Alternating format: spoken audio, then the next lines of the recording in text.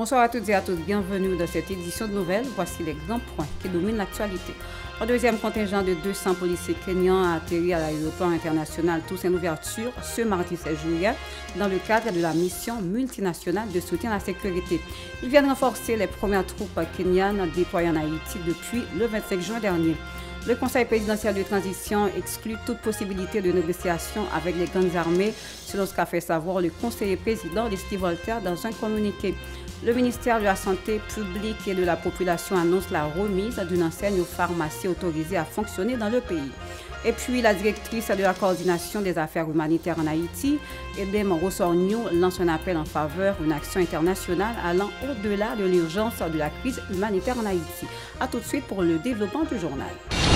you Bienvenue dans le développement du journal. Comme annoncé en titre, 200 policiers kenyans ont débarqué à l'aéroport international ce mardi dans le cadre de la mission multinationale de soutien à la sécurité en Haïti.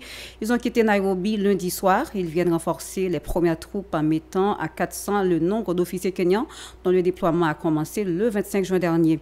Il convient de rappeler que cette force étrangère visant à rétablir la sécurité dans le pays est dirigée par le Kenya. Elle doit compter au total 2500 officiers, euh, plusieurs autres pays tels que le Bangladesh, le Bénin, le Tchad, les Bahamas et la Barbade devraient également y prendre part. Toujours de l'actualité, le Conseil présidentiel de transition écarte toute possibilité de négocier avec les gangs armés, a fait savoir le conseiller président Leslie Voltaire dans un communiqué en date du 15 juillet. Cette déclaration vient formellement démentir une vidéo diffusée par un média qui laissait entendre que le Conseil présidentiel aurait évoqué un dialogue avec les gangs armés. Ils affirment que ces criminels doivent faire face à la justice. Leslie Voltaire rappelle que le CPT mobilise les moyens nécessaires pour renforcer la PNH et la FADH afin de rétablir la sécurité dans le pays. Du 1er au 13 juillet 2024, la police nationale d'Haïti a enregistré cette cas d'enlèvement. Selon le porte-parole de la PNH, Michael Louis Jeune, ce chiffre révèle une baisse considérable des cas de kidnapping comparativement à la même période de l'année dernière, a-t-il déclaré. Autre dossier, le ministère de la Santé publique et de la Population informe qu'une enseigne est attribuée aux pharmacies autorisées à des fins d'identification. Cette enseigne devra être affichée devant ces entreprises détentrices d'une licence d'ouverture et d'exploitation du MSPP. Selon le Bureau de la communication du dit ministère, ces mesures visent à garantir la confiance de la population. Autre information, la directrice de la coordination des affaires humanitaires en Haïti, Dema Rossorgnon, la directrice de la protection civile et des affaires humanitaires de l'Union européenne, Andrea Koulaima, ainsi que la directrice de l'urgence de l'UNICEF, Lucia Elmi, ont appelé via un communiqué daté du 15 juillet à l'aide internationale en toute urgence en faveur d'Haïti. A souligné que ces responsables de l'ONU ont effectué une visite de quatre jours dans le pays. Lors de ce voyage, ils ont visité l'hôpital de l'Université La Paix vendredi dernier. À cette occasion, le directeur exécutif de l'hôpital, Dr Fontilus, en a profité pour solliciter la continuation du soutien des organisations onusiennes, notamment des fournitures, matériels médicaux ainsi que des formations et accompagnements techniques. Selon la délégation, l'action internationale doit aller au-delà de la réponse d'urgence à la crise humanitaire en Haïti. Autre nouvelle, des citoyens de la commune de Delma ont réagi par rapport à la situation critique du pays. Ils déclarent que l'insécurité qui sévit en Haïti est programmée et planifiée. Ils lancent un appel au Premier ministre Gary demandant de tenir à distance les anciens politiciens ayant contribué à la dégradation de la situation du pays et d'intégrer les jeunes dans les affaires de l'État. Écoutons leur réaction au micro de Asmin Sano et Max Roni Orissin. Je nous comprends et conjoncture l'insécurité Pot se yon l'insekirite ki programe, sa mte kapap di, se, e, se li de yo menm ki akouche sa la pou nou jodian, nan akapare zon, empèche nou rassemble nan sit de rassembleman nou yo, yo, yo asyeje zon yo, pa de fizi, epi tou pa de mal oryante. Jodian la, konjoktik gen la, nap di mese koni, se pa menm bagay lan, Se pou ke li rassemble avèk la jenèz, se pou li ouve kat lan, se pa politisyen ansyen vie fè kan nisa ou toutan pou la pmete bo aboli. Toujou gen jen gason kap fè 4-5 joun an peyi a san manje. Toujou gen jen gason ki pa gen a adormi alonje.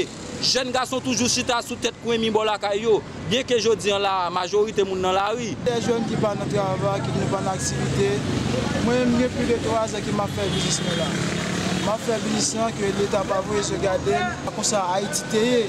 e se pa kon sa ke l'Etat sipoze. Dè tou, nou se nan suv, nan kase popilè ou pa gen kouran.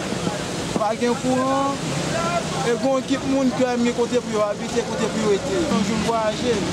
Alors sa mte kazi, mè se responsable dirijan yo, mte kazi vwe se gade jen yo.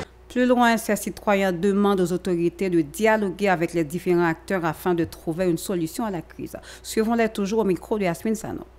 Nous-mêmes, ça nous espérait qu'il pour ta fête et que nous yo même yo un large consensus pour que nous arrivions à joindre une sortie de ça nous là. là, pas eux même encore qui pour venir retirer nous dans ça là. A des gens dans pays, des gens dans pays. Tout jeune pas parti, monsieur, tout jeune pas jamais visa. E menm le avyon te pake nan yon pot la, la prele kakou kamyonet ki pral jiral batay la, tout jen pap jom ale. An tou le ka nou menm e, PM koni, nabdou sa, kom nou an vle paret tre koni, nou menm PM, nou sou sol nan la, naptan integrasyon pa nou an, sou ne pot fom nan. Dirijan yo, mese, gade jen yon lot jan, gade jen yon lot jan, pran le swen, pran le soye, resezi nou, paske nou se Haitien, nou se an sol. Mem si ki ou te aviv al etranje, mem si ki ou te aviv ou aviv ke nan peya, nou se an sol. E nou kondane pou nou viv ansam. Mab di mese yo, oh, sil pou ple, pa maltrete nou, ede nou, paske nou bez de travay, nou gen fami ki pou en nan nou. Le 15 juillet dernier a marqué la journée internationale des compétences des jeunes selon les Nations Unies. À cette occasion, la Croix-Rouge haïtienne et la Fondation Lorquet ont organisé une matinée de causerie et de débats. Lors de cette célébration, le les invités, l'ancien ministre de la Jeunesse, Edwin Scholl, a prodigué des conseils sur l'importance de la compétence à environ 60 jeunes présents, les encourageant à continuer d'apprendre. Suivons ces déclarations au micro de Hirsch et Marie-Carmel Auguste. Je salue nous toutes qui participent avec nous dans euh, la conférence. Aujourd'hui, c'est la journée mondiale des compétences des jeunes.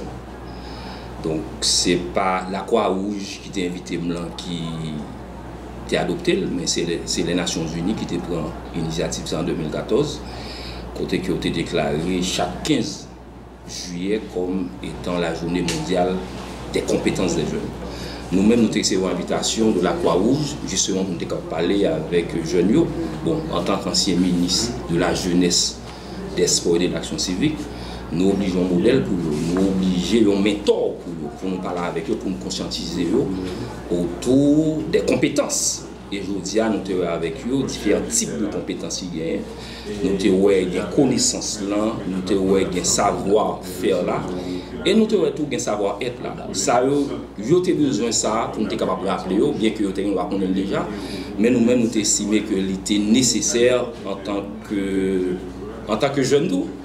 Menize la jenese, se menize la jenese, mou jen do. Donk pou mte pala ave yo pou yo kompren ke avne peyi a depan de yo men, e avne peyi a se jour di a vou pe pa reni. De son côté, le coordonnateur national de la Croix-Rouge à jeunesse, Claude Arson Jean-Charles, a apporté des précisions pour souligner l'importance de célébrer la journée internationale des compétences des jeunes en Haïti, particulièrement à un moment où les jeunes manquent de repères. Suivons-le. La presse qui arrive faire déplacement pour activité ça. En fait, c'est une activité qui fait, euh, c'est la Croix-Rouge Jeunesse, qui sont section statutaire de la Croix-Rouge haïtienne qui euh, réalise l'activité ça en partenariat avec euh, Folona, qui est Fondation Lorquet pour une nouvelle Haïti. Donc, c'est à l'occasion de la journée mondiale de la compétence aux jeunes. Donc, et l'initiative a été réalisée et je support au comité régional métropolitain donc, je m'appelle laissé le salut même capable de présenter. Mm jeunes qui assurent, qui comptent nous joindre Voilà, ce sont des jeunes de la Croix-Rouge haïtienne, des jeunes volontaires, des jeunes qui s'adonnent euh, euh, pour le volontariat, pour être utiles à la communauté. Donc, euh, ce sont des jeunes repartis dans les différentes branches du pays, mais particulièrement pour le COM, qui est le comité régional ouest métropolitain. Donc nous avons trié sur le volet 60 jeunes pour bénéficier de cette activité de journée de réflexion, de causerie éducative. Autre dossier, le ministre des Affaires étrangères de la Colombie, Luis Gilberto Murillo, déclare que le gouvernement colombien a entamé des démarches visant à rapatrier ses ressortissants en prison en Haïti dans le cadre du dossier de l'assassinat de l'ancien président Jovenel Moïse, survenu de la nuit du 6 au 7 juillet 2021. Il explique que de concert avec le ministre de la Justice Nestor Osuna, il travaille sur le mécanisme de rapatrier ses présumés coupables. Il prévoit de rentrer en Haïti et de discuter avec le gouvernement de cette affaire. Le chancelier souligne que les Colombiens emprisonnés en Haïti n'ont jusqu'à présent pas été jugés ni condamnés. C'est ici la fin de ce journal. Merci à vous de l'avoir suivi. Restez branchés à la télé Pacifique pour la suite de la programmation. Au revoir et à bientôt.